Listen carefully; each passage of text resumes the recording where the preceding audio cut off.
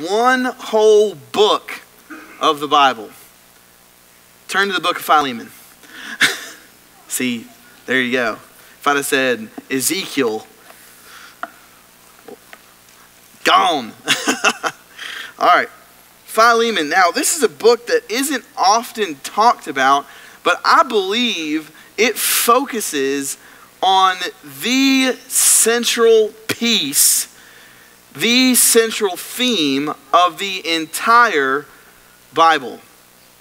And that is uh, the theme and the doctrine and the subject of forgiveness all of us at some point in time in our life, all of us at some point in time in the relationships that we currently have um, with family, with friends, maybe even at work, at school, with teachers, have needed and maybe even asked for forgiveness. And so the question is why is it, first of all, do we even need forgiveness as people? Why do we still need, even as members of the Lord's church, why do we still need forgiveness? And the answer to that is because you are you and I am me. And we are flawed human beings. And what's so interesting about this book is the book is, is called Philemon, but Philemon is not really the, or, or Philemon is not really the main character. Philemon is the recipient of the letter, but the letter is actually about an indentured servant that Philemon has, who has run away from his master, who has uh, encountered the Apostle Paul. And so the question becomes then what is Paul or what is Philemon to do with this indentured servant that Paul is now going to send back to him?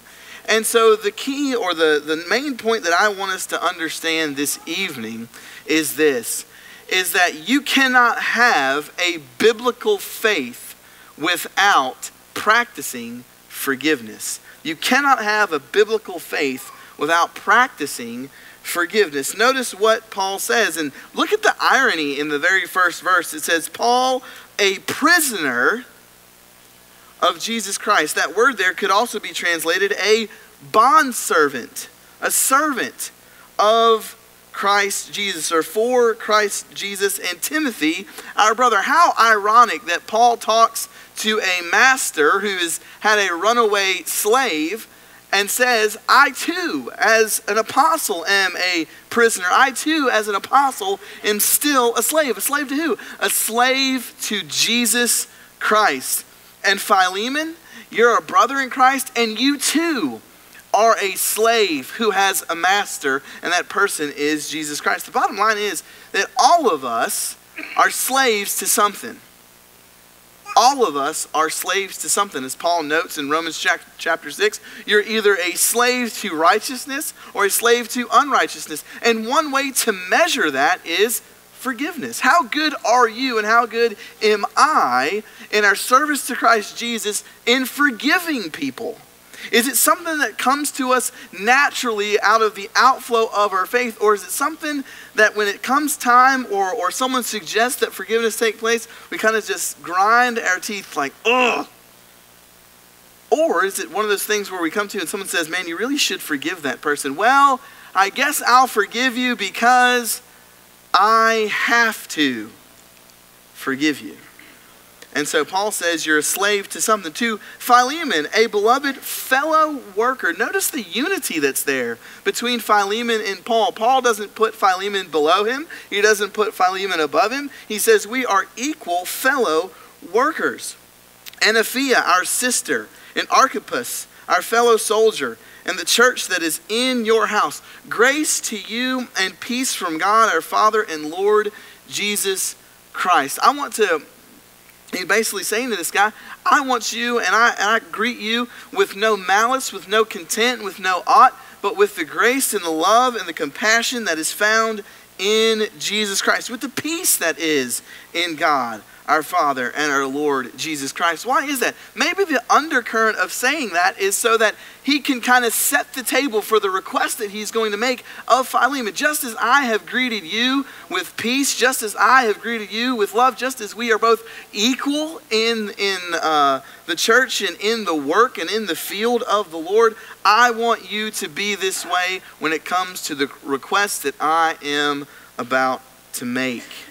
And so Paul first opens up and he sets the table with the things that they have in common with one another. One of the things that will be key for you and me when it comes time to forgive people is not to identify the differences that we might have or the ought that we might have, but the similarities that I have with you and I.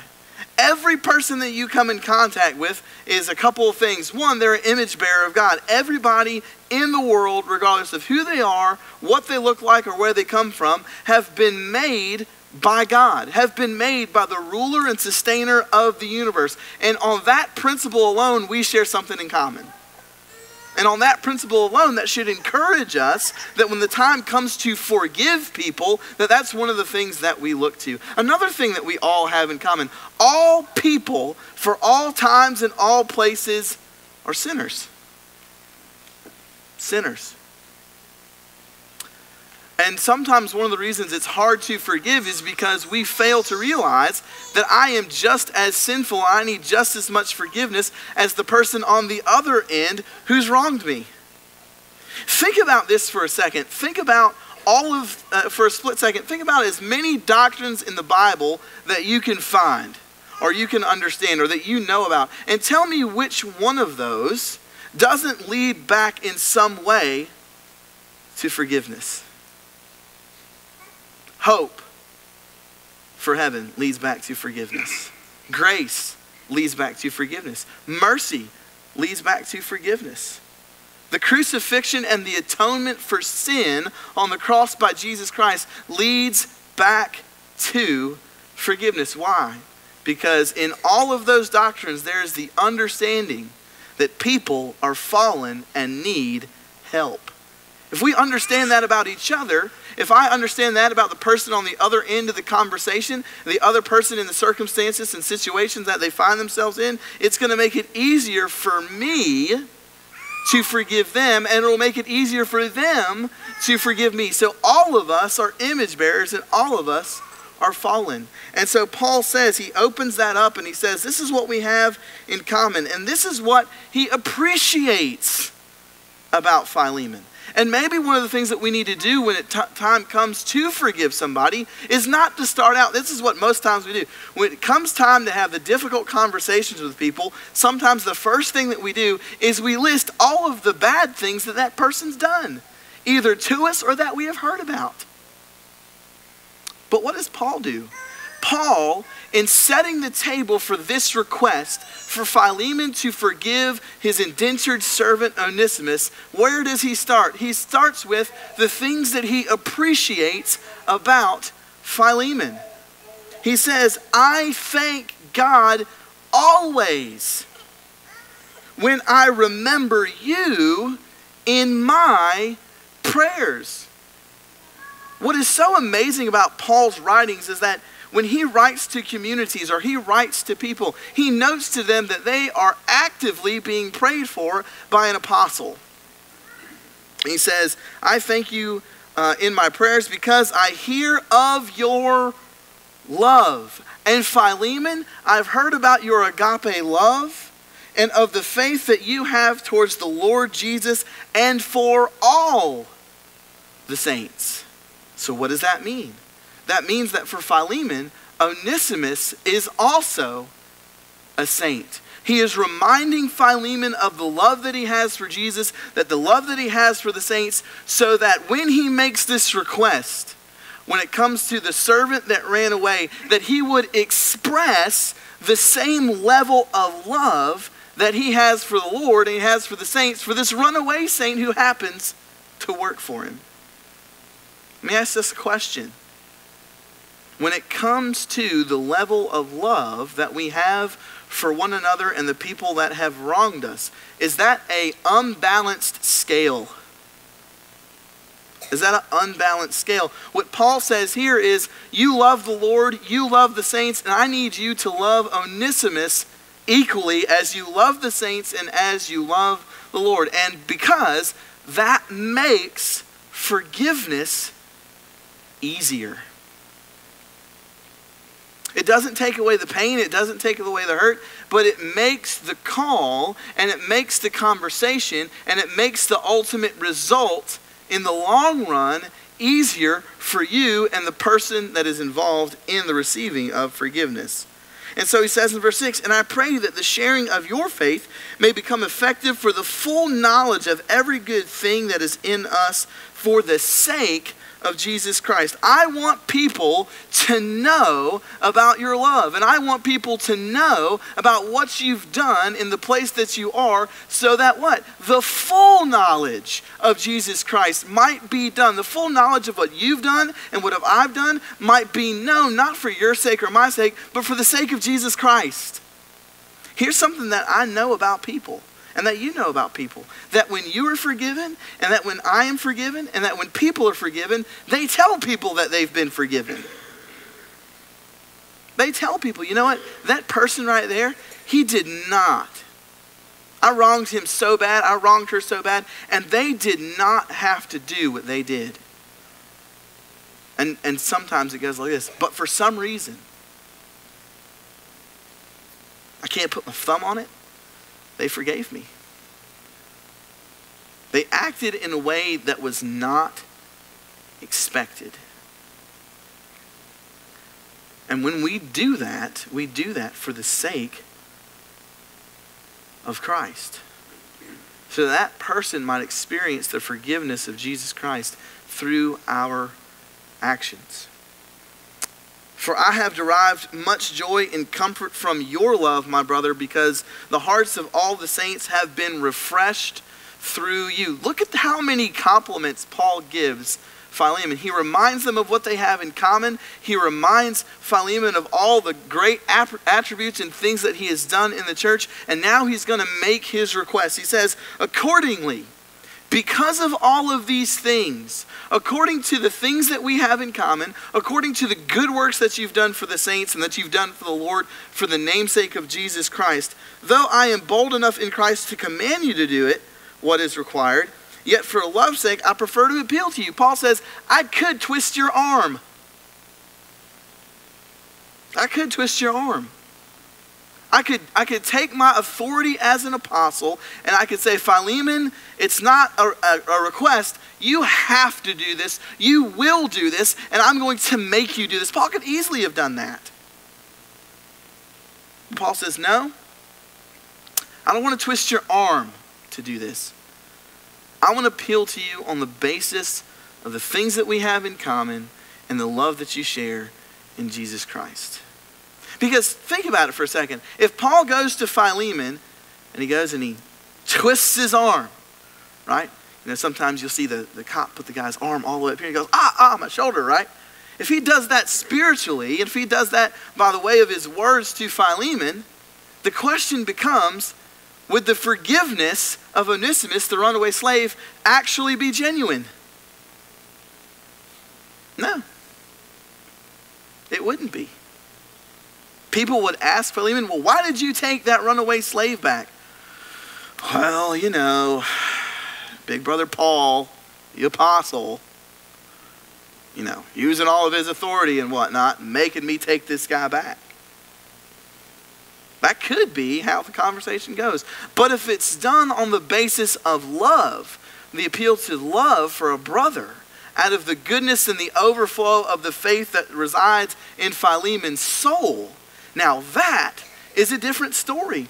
That not only changes the narrative about the relationship between Philemon and Paul, it changes the narrative and the relationship between Philemon and Onesimus.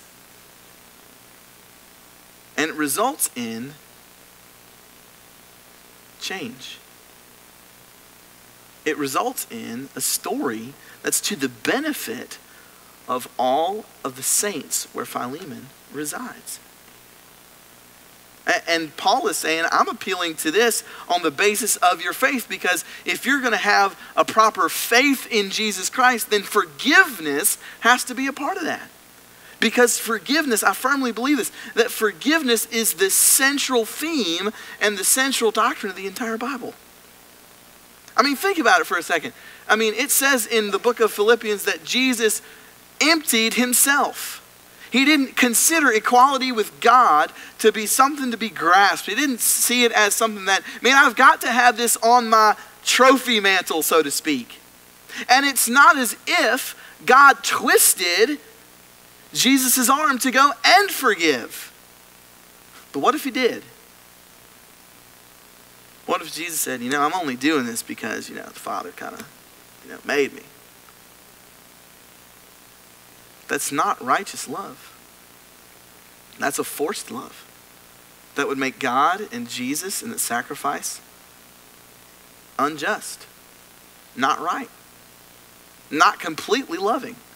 And this is the type, and this is not the type of love that Paul appeals to. Paul appeals to Philemon on the basis of that genuine love. And he says there, I, Paul, an old man now prisoner for Christ, I appeal to you for my child, Onesimus. What? Why are you calling him a child? After all, don't you know, Paul, of all the bad stuff that he's done? Don't you know that he put himself in a situation where he worked for this guy and he willfully ran away. It's not like anybody freed him. He willfully ran away. And don't you know, he stayed away. And don't you know, Paul, that if you hadn't come across him, he'd probably still be away. See, that's not how Paul describes Onesimus, is it? He says, He's my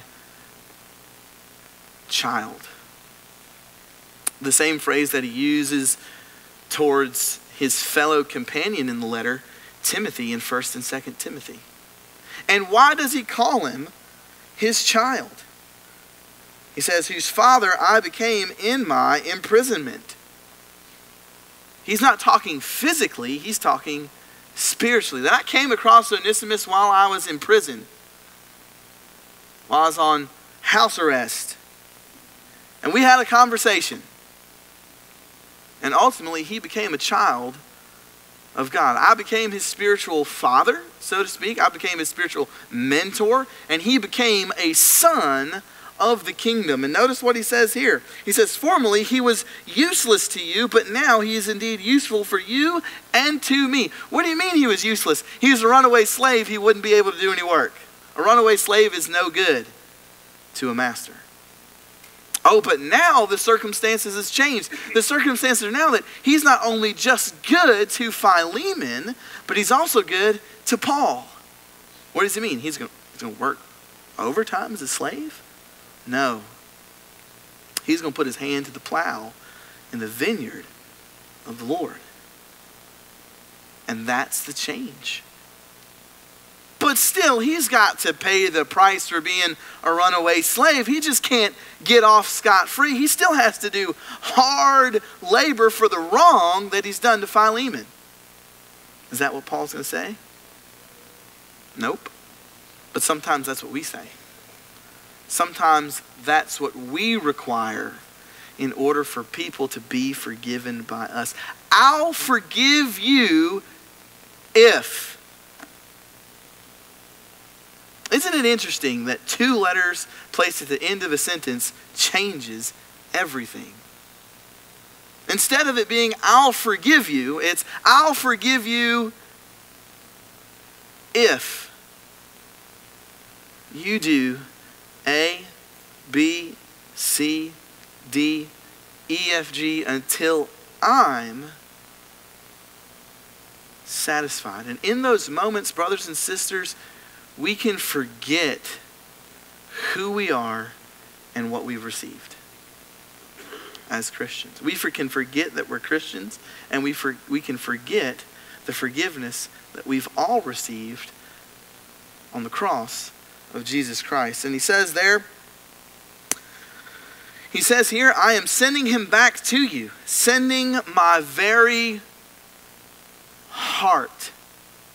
Man, must have been a crazy change in Onesimus' life for Paul to call him a child and for Paul to say, I'm sending you my heart. Is as if I am taking all that I am, all that I've become, all that I stand for, and I'm imparted all of that to Onesimus, and I'm sending it to you. He is, it's as if I am sending you me.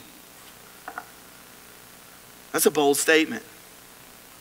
But what does that say? That shows the confidence that Paul had, one, in Philemon to do the right thing, and two, for Onesimus to, be the, to do the right thing, and be the right person upon returning to Philemon.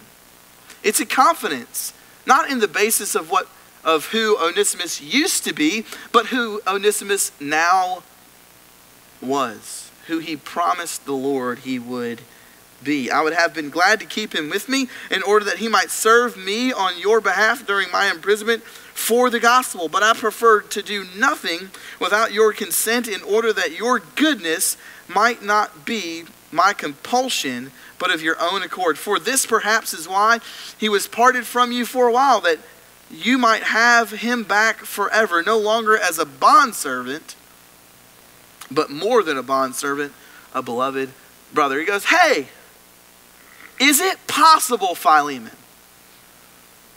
that in the course of his running away, that that took place so that he might achieve a greater purpose and a greater role and a greater benefit to you and me? Paul's answer is perhaps that's the case. And that he might now be more than just a slave, an indentured servant to you, that he might be viewed by you as a brother. So, verse 17. So, if you consider me your partner, of course he would. But notice the humility of Paul. If you would consider us equal, if you would consider us fellow laborers in the vineyard of the Lord, receive him as you would receive me. Now, whoa, whoa, whoa, wait, wait, wait, time out. Paul, Paul. Let's take a full time out. Let's process what you're asking me to do. You're asking me to take somebody who broke the law, who hurt me financially, who ran away, probably would have stayed away if he hadn't come in contact with you, and now what you want me to do is you want to forgive you want me to forgive him totally not only that you don't want me to hold it against him, and you want me to view him, that runaway slave, as an equal? Ding, ding, ding. Show him what he's won. And see, that's the hardest part about forgiveness. The, the, the compulsion, or not the compulsion, the feeling sometimes, the, of, of forgiving is that if I forgive this person, then somehow I've lost.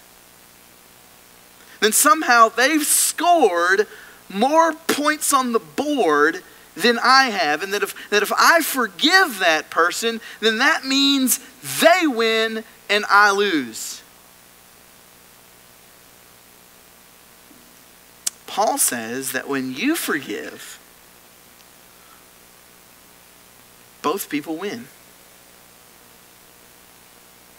Because that person receives the grace and mercy of Jesus Christ that they deserve, and then you are no longer controlled by that person's actions. We understand that, right? That when you don't forgive somebody and you're not willing to forgive somebody, and I'm not willing to forgive somebody, that we have just given that person the right to control our mindset and our attitude. Now, I don't know about you, but the only person that I want to control my mindset and my attitude is the Lord Jesus Christ. I don't want anybody else to do that. So part of the incentive to forgive is to ensure that that person sees Jesus in your actions, but also that you don't let somebody control who you are and how you act and what you think. Some people, eh, both in the church and outside the church, spend years being controlled and manipulated by something that happened so long ago by people they may not ever see again. All because forgiveness didn't take place. Because forgiveness was not in the cards of their faith. And so he says, if he has wronged you at all or owes you anything, charge that to who? Philemon. No. Charge that to who? Onesimus. Nope. Whatever he owes you for the work that he hasn't done, charge it to my account. What? Paul goes to the extreme here. I mean, you think about it. You think about how the way money was gained back in the day. It wasn't, uh, hey, I've got a fixed income, or Paul was on a salary. Paul said, I earn however many tents I sell today. So from day to day, that might vary. There might be a day where Paul says, sells zero tents. There might be a day where Paul says tw- sells 20, but he says, hey, I'm going to take a risk. I'm going to take a step out, and I'm going to say, whatever he owes you, charge it to my account because I'm going to go to the extreme measure to see to it that Onesimus and Philemon are reconciled. And so that says something about being a third party in the process of forgiveness. How far are we willing to go? How far are we willing to walk with people to see to it that reconciliation happens? We should be people who shock people at how far we're willing to walk with them down the path to forgiveness.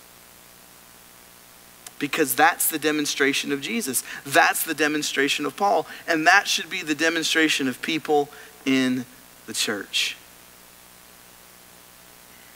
And he says in verse 19, you know, Justin, I find this a little bit a little bit funny because you can imagine Philemon reading this. You want me to charge what to your account? And Paul says in verse 19, I, Paul, write this with my own hand. So just in case you think somebody else is writing this thing, just in case you think this might be a misprint, I just want to reassure you, I'm the one writing it. I will repay it. To say nothing of your owing me, even your own self. Yes, brother, I want some benefit from you in the Lord. What's the benefit? The benefit is reconciliation with Onesimus. He didn't ask for anything physical. He wants the joy of knowing that two people who were once separate are now together. That two brothers who were once departed from one another are now one again. And he says, I want some benefit in Lord. Refresh my heart in Christ. Forgiveness refreshes people. When people hear about the stories of redemption and people hear about the stories of forgiveness and people hear the stories of restoration, it refreshes the heart of the saints. It refreshes the heart of God. Verse 21 Confidence of your obedience, I write to you knowing that you will do even more than what I say. Philemon, I know who you are, man. I know who you are down to your core. Essentially, Paul's saying, out of all the people that I know in your area, I probably know you the best. And it's not that I know that you're just going to do the right thing. You're going to go above and beyond what I ask because he understood that Philemon's faith had forgiveness as a central tenet of it. It was a pillar of who Philemon was. And if we're going to have a biblical faith, then forgiveness also has to be that pillar. And this doesn't mean that forgiveness is easy or that we should be flippant about forgiveness. There's some times where, where, where being a forgiving person and to forgive people can be hard and it can be tough. This isn't romanticizing forgiveness. Forgiveness of sins on the cross was a tough thing by Jesus Christ. But the joy set before him, he endured the cross. There's joy that's found in forgiveness, even amidst the pain of sometimes forgiving people for extremely wrong things that they've done to you and me. And he says, at the same time, prepare a guest room for me, for I'm hoping that through your prayers I'll be graciously given to you. And so in the final greeting, he says, Epaphras, my fellow prisoner in Christ, sending greetings to you. So do Mark, Aristarchus, Demas, Luke, my fellow worker. The grace of the Lord Christ be with your Spirit. He starts the book with grace, calls upon Philemon to enact grace through his forgiveness, and then reminds Philemon that he has grace at the end of the book. That is not a coincidence. So, evening, the question is very simple for you and for me. When you look at your circumstances, your situations, when you reflect back on your life, when you look at your family, when you look at the people that you work with, who needs forgiveness?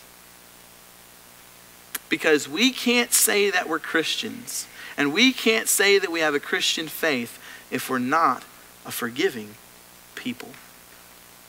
Maybe this evening you're the one that needs to be forgiven for an action, for a deed, for a thought, for something that you said, or for maybe even the neglect of some of those spiritual disciplines. Maybe you need to be forgiven for not being forgiving. If that's the case, let's take care of that this evening as we stand and as we sing.